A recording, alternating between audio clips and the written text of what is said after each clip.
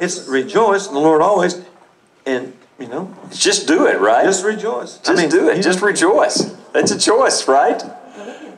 We have a choice to make.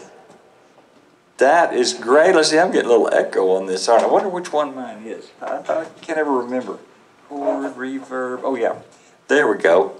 Um, we've got two different stations here, and I can't ever remember one, which one goes to me and which one goes to you. okay. Well, I'll tell you, we've been experiencing the breath of God today. Have you, have you, can you feel the breath of God? The breath of God is the Holy Spirit of God. It's amazing. And the breath of God has been working. Did you know the breath of God provides healing? It provides really wonderful healing. And boy, we've seen it. Betty, supernatural healing. Amen. No surgery. The doctor said just let it heal. She's been careful. She's been listening to the Lord.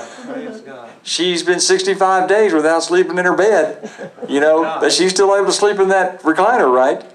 And see, man, use the wisdom of the Lord and the, the healing power, the breath of God. Hallelujah. Nancy, I remember when Nancy told me she'd never walk again. She's been walking. How many days a week do you try to walk? Three days. Three days a week. She, she's been too busy to walk lately, though. She's got a busy, busy life. But we're going to pray that she gets back to walking again.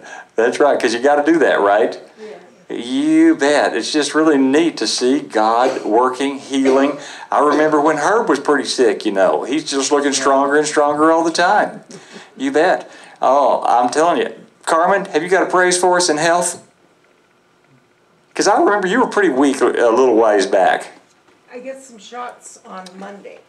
Oh, praise the Lord for shots, right? Yeah. That's right. Uh, Supposed Yeah. to help my knees. Okay. Yes, so that's a knee problem. And those shots do help, right? Well, Well, shots in the knee really help her fingers too, don't you think? I mean, she can play a lot better when her knees are, are well. It's just amazing to see what God does. it's that pebble. You getting your shots? Distemper and rabies. Oh, he gets his distemper and rabies shots. Boy, I'm glad he does too, aren't you? As wild as he is uh, with those shots, I can't imagine what he would be like without it. God is just so good, isn't He? Heavenly Father, we're thanking you, we're praising you, we're rejoicing in the Lord always. And we have every reason to rejoice, Father, as we really think about it. We know we have struggles that we go through, difficulties that we face, but when we really think about it, we have so much to rejoice in, so many reasons to praise your name. Thank you so much for answering prayer for us. We just rejoice in that. We know that you're with us always, always providing for us. As you promised, you said you would supply all of our needs according to your riches and glory in Christ Jesus. So we thank you and praise you. We ask you to just bless our time together as we look in the Word tonight, Father. We're so dependent upon your Word and the power of the Holy Spirit as He reveals the truth of the Word of God to us. So we thank you and we praise you in Jesus' name. Amen. Well, you know, as we get older, we realize more and more how important breath is, right? Mm-hmm.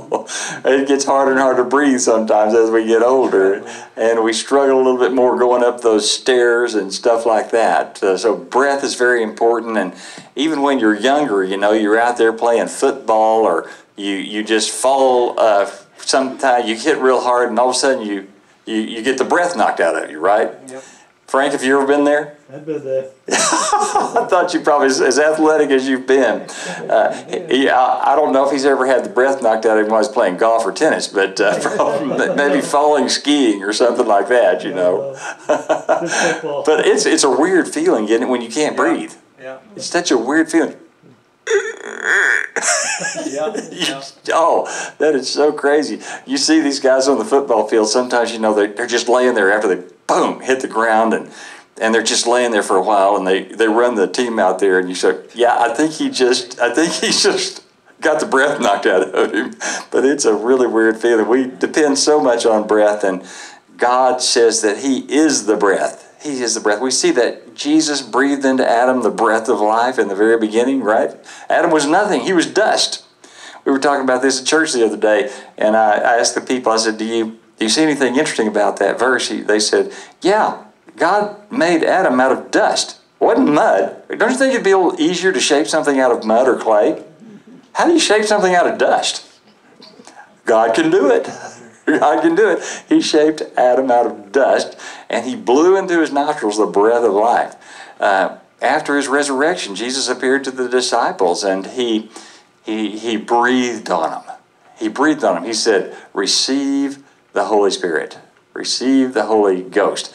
I know, uh, you know, Roy loves that expression, Holy Ghost. when he was a kid, he, he said that scared him to death to hear somebody talking about the Holy Ghost. Uh, the modern translations all say the Holy Spirit. That's probably a little bit better.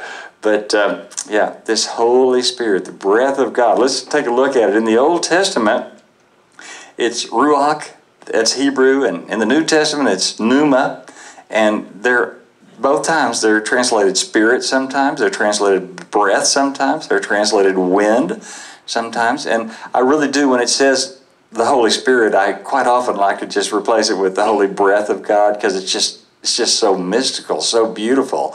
The holy breath of God. I think one of the problems with calling it the holy breath of God is it doesn't seem like a person, right? It just seems like a kind of a force of nature, and we know the Holy Spirit is a person. The Holy Spirit is one of the one of the persons of the Godhead, part of the triune God.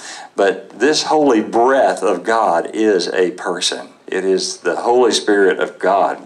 And uh, so I like to think about this in those terms that the Holy Spirit of God is just like the breath of God. And look at what we see in 2 Timothy 3.16. All Scripture is God-breathed. And that word in Greek is theopneustos. Can you see God breathed in that? Theo is God. Pneustos comes from pneuma. God breathed. It's much more literal to say God breathed. And that's how powerful the Word of God is. It is the breath of God being made manifest in the writers of the Scriptures. It was breathed out by God, and therefore it is useful for teaching, rebuking, correcting, and training in righteousness. It's, it's what we are so dependent upon. We, we just need to be uh, have this foundation of understanding in the Word of God. But look at the that's the NIV, that's the New Modern Translation, and in the New King James Version, which is probably what most of us memorized, it says all Scripture is given by inspiration of God. Well, that's a little bit of a misconception. It's not as literally true, is it? Theopneustos is God breathed, and here they've translated the inspiration of God. The problem with that is it makes it sound like the apostles were inspired, that it, that it really came from them. You know, that they were they had this moment of inspiration, and so they wrote the, the Word of God. That's a little bit different than God breathed, don't you think? God breathed comes straight from God, Whereas inspiration means like, oh, they were just kind of a natural phenomenon that took within them. They were inspired uh, to write the scriptures. So uh, I think that's really an unfortunate uh, translation. And R.C. Sproul said something very interesting. He said it would have been really better if they had said all scripture is given by expiration of God. he wasn't, uh, you know, he was breathing out. He, these people were, the, the, the, apostles were breathing in the Holy Spirit of God, but he, it wasn't uh, inspiration, it was really expiration. He was breathing out the very Word of God. Now, I find that very interesting. I just love to look at those words and the, comparing the different uh, words that are translated uh, in these different versions of the Scriptures. But in John chapter 3, it really comes into play because Jesus talks to Nicodemus. He says, Flesh gives birth to flesh, but the Spirit, the pneuma, gives birth to spirit. He says, only the Spirit can give birth to spirit. He says, flesh gives birth to flesh. Now that's just pretty clear, isn't it? He says, when you're born as a baby, you don't get the Holy Spirit of God. he says, that's a different birth. That's a different thing. The Spirit is the only one that can give birth to the Spirit. So he says, being born of the flesh, just born in the, into this physical world, is not going to really give you what God wants you to have. He says, it gives birth to the Spirit. He said, You should not be surprised at my saying, You must be born again. He tells Nicodemus, Just being physically born is not going to get you to heaven. You, the only way to go to heaven is to be born again by the power of the Holy Spirit. to have the Holy Spirit of God breathe into you, have His breath come into you. It's the power of the Holy Spirit in us that makes us a new creation in Christ. We become like God because He's living within us. He's breathing His breath in us. And we learn as we go through life to become more and more in submission to the Holy Spirit of God. He goes on to say, the wind, or the Spirit, uh, the breath, blows wherever it pleases. Don't try to tell the Holy Spirit what to do. Did you know it? you better let the Holy Spirit do what He wants to do because He's going to do it anyway. Don't fight the Holy Spirit. You can't control the Holy Spirit any more than you can control the wind. Well, wouldn't we love to sometimes control the wind? I know John was. I keep telling her, uh, I say, man, Oklahoma's not all that windy. She said, yes, it is. It's the most windy place in the world. I've never been any place more windy. I said, oh, man, I remember times in Houston when it was blowing a lot harder. But, uh, you know, you can't control the wind. That's why we have all these weather people on trying to tell you where's it going to come from tomorrow. You know, we can predict some things about where it's going to blow because you know where the high pressures are and the low pressures are and stuff like that. But you can't tell the wind what to do. No, he says God, the Holy Spirit, is just like that. It's just like that. It is a force. It is the force of creation, actually, the force that creates.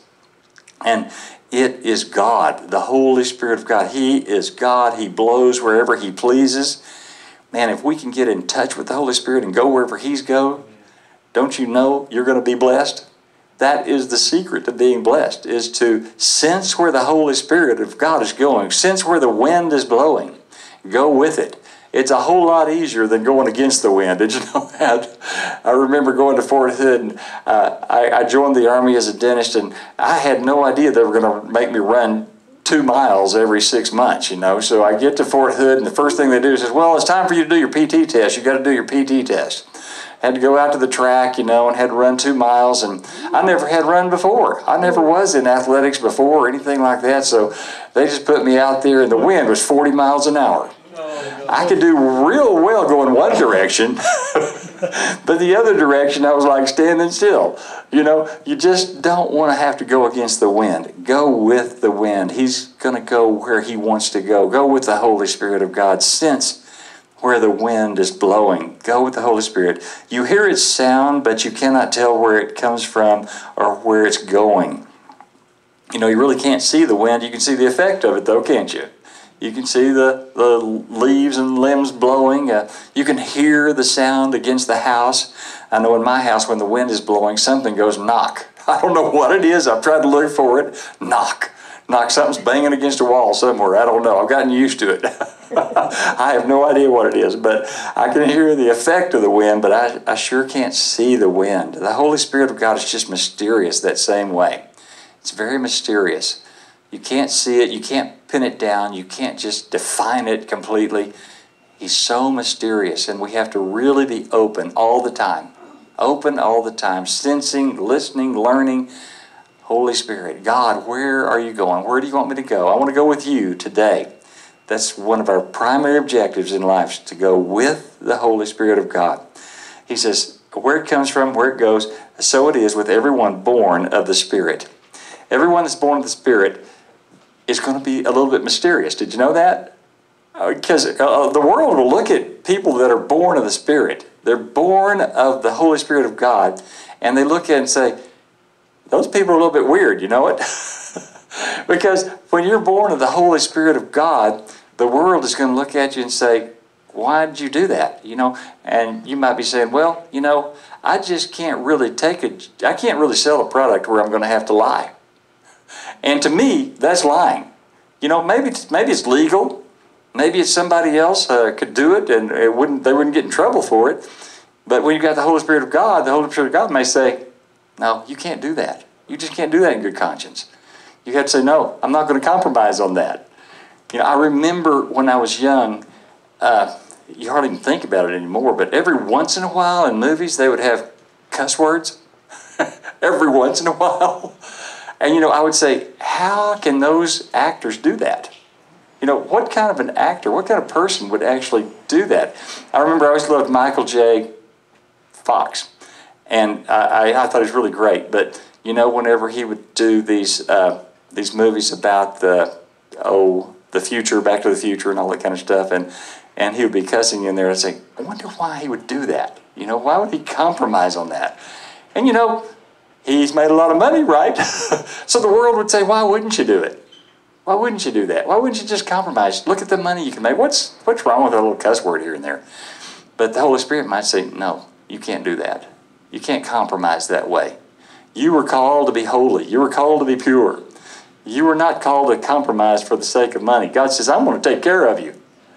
I'm going to take care of you. You don't have to compromise. You will not have to compromise. The Holy Spirit of God is right there. You got to follow the Holy Spirit of God. And the world's going to say, You're a little bit weird. But you know what? God says, You're going to have a great reward. There's a great reward coming for people who refuse to compromise and who are willing to say, Holy Spirit, wherever you go, wherever the breath of God is going, that's where I want to go. Well, as we look at Genesis, I talked about it a minute ago, where God, Jesus blew into Adam's nostrils the breath of life. It says, Then the Lord God formed a man from the dust of the ground and breathed into his nostrils the breath of life, and man became a living being. Well, we know when that happened, immediately Adam received physical life. His eyes opened, his heart started beating. That's the power of creation, isn't it? the breath of God creating this incredible, amazing power to create out of nothing. There was no life there. All of a sudden, the breath of God creates life. His eyes open, his heart starts beating. But you know what's what else happened? Really, really important. He received spiritual life. He received peace and joy. That's the spiritual life. That's the blessing of the Holy Spirit, really, is the peace and the joy that God gives. That's spiritual life. John said that Jesus was the Word of God. In him was life, and the life was the light of men. The life that comes from the Holy Spirit of God, the life that comes from the breath of Jesus Christ, is what gives us peace and joy. And man, I'm more and more convinced every day that's what this world is looking for. You know, when you see the compromises that you see, the political things going on, we prayed for them. We say, who in their right mind can't see that they're going in the wrong direction? But they're, they're blinded to the truth.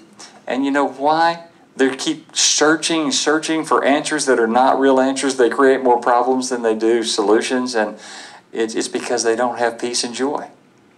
If they had the peace and the joy of Jesus Christ, I guarantee you, that's what motivates you to live a righteous life. People who have peace and joy, they live a righteous life. You know why? Because if you grieve the Holy Spirit of God, you lose the peace and the joy. You can let your peace direct you in your life. It's the peace that comes from the Holy Spirit. It's so powerful. It can actually direct you in your life. You can sense whether you're going in the right direction or not. So Jesus is the life giver. He's the one who gives this peace and that joy that the world is craving so much. When we get saved, we get born again. We get born again. When we get saved, something phenomenal happens. That Holy Spirit, the breath of God comes into us. And that's when we start receiving this peace and this joy that the world is craving.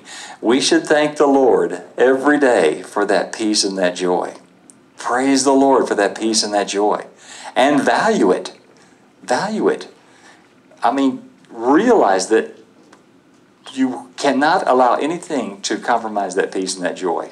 When you start sensing that peace and joy leaving from you, start praying. Start saying, Lord, I don't want to compromise that peace and joy. I need that peace and joy more than anything else. Peace and joy comes from the breath of God, the breath of the Holy Spirit. Man, I'll tell you, if you witness, if you if you uh, actually minister to people, you see so many people who, and I see it right here in this room, right in this room, people who suffer from various physical ailments, but they have peace and they have joy. That's that's a supernatural thing. That's not natural, is it? It's not natural to have peace and joy when your when your body is hurting. But you can. And those who minister, they see people who leave this life. They take their last breath, and as they're taking their last breath, they're praising the Lord. They have peace, they have joy. That's a huge blessing. Went to a funeral yesterday of Jan Fisher. I've known her, you know, since I was since I was probably 18, 20 years old. And uh, what a what a testimony! She played the she played the piano for the First Baptist Church of Cache ever since she was in high school, and and she could play that piano too. She she loved the Western style, you know, kind of a Western style for uh, uh, Just a Closer Walk with Thee, uh, Mansion Over the Hilltop, uh, all, all those great old songs, and she could really make that piano go. But her main saying all through her life is, God is bigger. Whatever happened, whatever would happen, her saying, God is bigger. She lived that way. She lived that way, believing God is bigger. And you know, when she took her last breath, she's she was 68 years old, still pretty young, right? 68 years old. She had her cancer, came back again, and uh, and as she was leaving this life, the last thing she said, always remember, God is bigger. that was what she lived by. God is bigger. Yes. He's bigger than anything that we could possibly ever face. That gives me chills right now as I think about it. Amazing. Yes, that peace, that joy, you can't you can't buy it. There's nothing you can do to buy it. Money can't buy it. No, it's something God gives as a gift to those who believe in Jesus Christ. So, when Adam and Eve sinned, of course, they lost that peace and that joy. And they their physical life changed also because all of a sudden their physical life became temporary. They began to realize that they would die someday. So death came upon them in a physical sense, but immediately they lost the peace and the joy. Why else would they run and hide? They were afraid of God. They lost that peace and that joy, but they had to step out in faith, believing in Jesus Christ. When He called them, when He called upon them, they stepped out in faith. They said, I believe I can trust Him. They heard His voice, right? The breath of God came upon them. They sensed in themselves, yes, I can trust Him. They stepped out, and you know what He did? He made garments for them. It says, The Lord God made garments of skin for Adam and his wife, and, He clothed them. We today, when we believe in Jesus Christ, we're clothed with the righteousness of Christ. Right. When God looks at us, He sees our clothing. That's right. That's He right. sees our clothing. It's the righteousness of Christ, clothed in righteousness. And that's why the Holy Spirit of God can live in us. That's right. That's why the Holy Spirit can come to live within us because when God looks at us, He sees the righteousness of Christ. We're clothed in the righteousness of Christ. Man, that's beautiful clothing, isn't it? Again, you can't buy it. It's something that God gives to those who believe in Jesus Christ, and that's what makes it possible for the Holy Spirit to come in. How, how does it happen? Simple faith. For God so loved the world that he gave his only begotten Son, that whosoever believeth in him should not perish, but have everlasting life. That's life. In him was life, and the life was the light of men. If you don't have Jesus, you're walking in darkness. You don't have any light. No wonder people are depressed. No wonder people are looking for exotic solutions that don't make any sense. They don't have light. They're walking in darkness. They need the light of Jesus Christ. It comes through faith in Jesus Christ. Jesus Christ came into this world to save sinners, to bring the light to us. And guess what? It's just beautiful, his attitude. God sent not his son into the world to condemn the world. He didn't come down here to condemn people. We were already condemned, weren't we? We were already condemned. He said, Those people are condemned. They don't have any chance. They don't have any hope. He says, I can give them hope.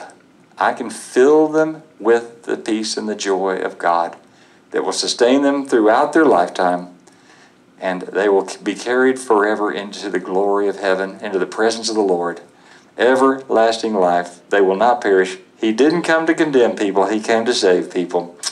He came that they might be saved. That's the heart of God. That's the heart of God. Do you think God is angry? I don't think so. I don't think God is angry. And I've heard people say, well, look at uh, Isaiah. Isaiah saw the Lord high and lifted up, sitting upon a throne, and, and he fell down trembling before God. I'm a man of unclean lips. You know, I, I live in a generation of unclean lips. I'm unholy, I'm unrighteous. He was, he was afraid of God. But what did God do? God says, I'm going to heal your lips. He wasn't judging Isaiah, he was calling Isaiah. He was calling and he said, Isaiah, I've got something important for you to do. I'm going to make it possible for you to do it. I'm going to, you do have unclean lips. You have every reason to be afraid because you see your unrighteousness. But he says, I'm not going to let that stand in the way. I'm going to make you righteous. I'm going to cleanse your lips. I'm going to make you a servant of God. I'm going to give you a message that will change the world. You'll be amazed, and really, I'm amazed when I read Isaiah. The, the, the revelation that he received. Wow. God cleansed his lips, cleansed his heart, made him a, a vessel of God, a vessel of the breath of God. As he spoke, the breath of God was going out from him. As he wrote, the breath of God going out, and we are the beneficiaries of it. The Word of God is so powerful. It's alive. It's the breath of God. Praise the Lord.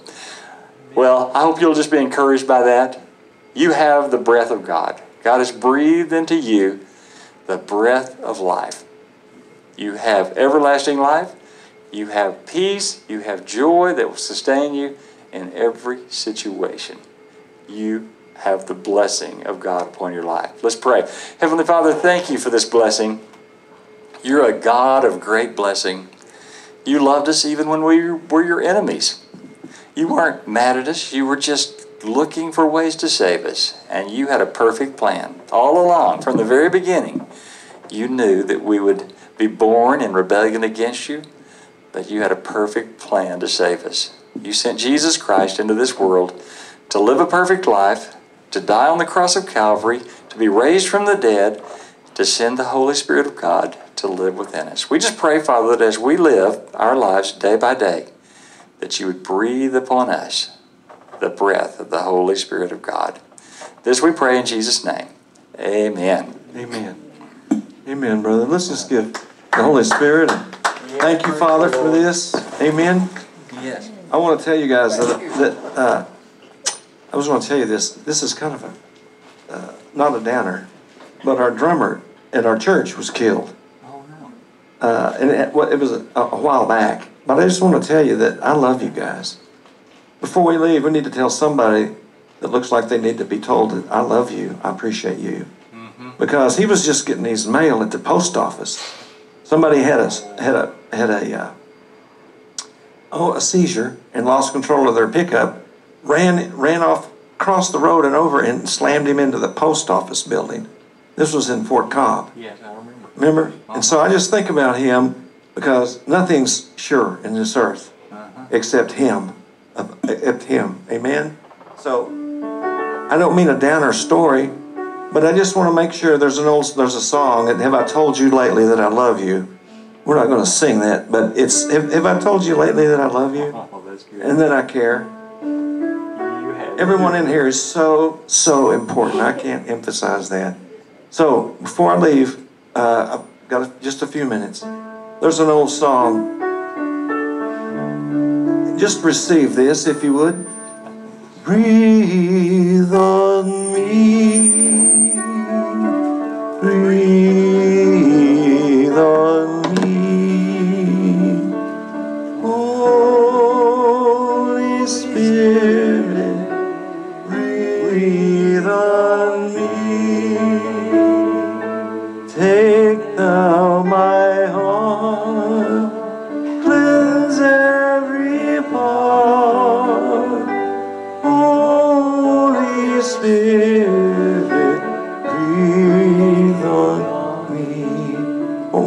As a prayer if you wish? You know what I love about God? You can't do any more or any less for His love. You can't perform. You can't jump through hoops.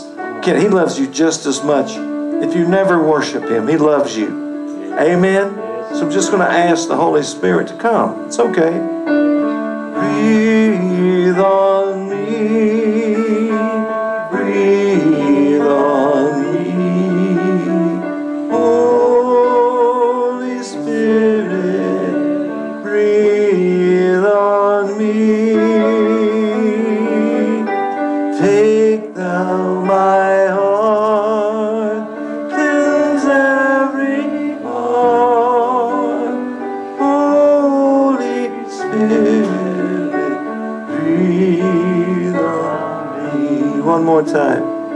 Receive from the Holy Spirit. We receive your Spirit, Lord.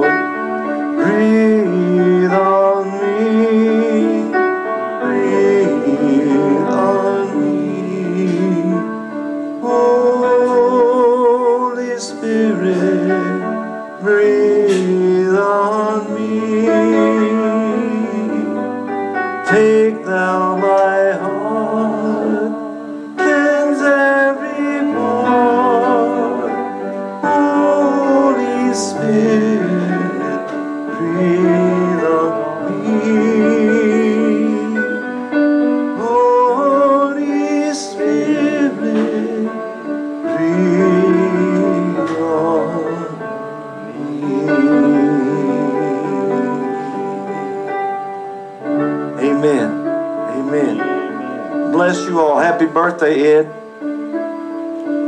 Everybody, happy birthday. Happy birthday. Amen. Yes. If we don't see you next week for some reason or the other, we'll see you up there.